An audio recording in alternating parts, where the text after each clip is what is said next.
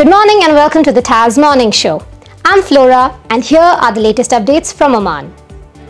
His Majesty issues orders to send humanitarian aid to flood hit Libya. The aid comes within the framework of the brotherly relations between the two countries and as an expression of the humanitarian initiative undertaken by the Sultanate of Oman to provide relief to those affected by various natural disasters. The Ministerial Committee for the Integration of the Logistics System and Border Ports approved the Sohar Logistics Station in Gadfan in North Al Batinah Governorate as a single station for inspection and custom clearance. These services were provided in cooperation with the Ministry of Agriculture, Fisheries and Water Resources and the Directorate General of Customs.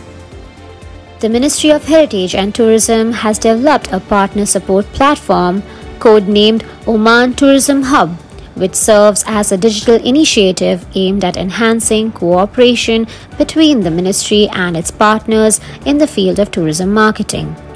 The platform is considered a comprehensive information source and database that provides vital information about the tourism promotion strategy and the Omani tourism product. The platform also includes updated monthly newsletters related to the latest development in the field of tourism promotion. Thank you for watching the TAS Morning Show. Follow the Arabian Stories for the latest updates.